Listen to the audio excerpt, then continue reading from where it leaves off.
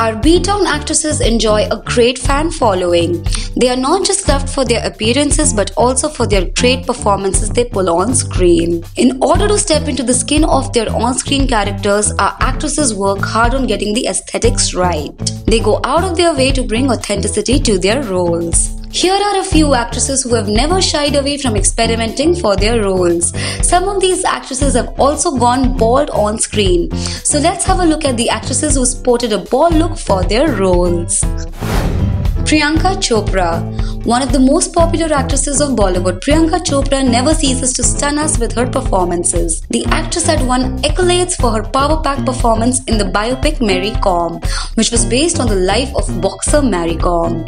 In one of the scenes in this biopic, Priyanka sported a bald look and she totally nailed it.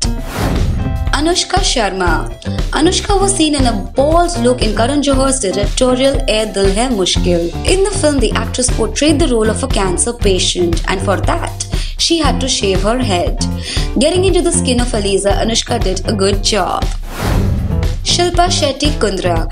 Here's one of the rare pictures of Shilpa Shetty Kundra from her home production, The Desire. The film also starred the Chinese actor Xia Yu alongside Anupam Kher, Jayaprada, Vikram Gokhale in pivotal roles. The actress had used prosthetics for her bald look. Shabana Azmi. The veteran actress Shabana Azmi had to shave off her hair for her role in Water, which was helmed by Deepa Mehta. In the film, the actress portrayed the character of a widow named Shakuntala. However, due to some reason, Shabana couldn't be a part of the film, and later Seema Biswas played her role. Lisa Ray.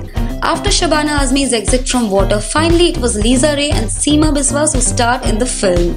Lisa Ray stunned everyone with her shaved head and she has also bagged many accolades for doing justice to her character. Antara Mali. The pretty actress Antara Mali was seen in a bald look in the Ram Gopal Varma's Nach as Reva, who had a huge scar on her face. The actress made the audience emotional with her heartful performance. So, friends, that's it for now. For more such interesting stories, stay hooked to Bollywood Bubble and do not forget to hit the bell icon.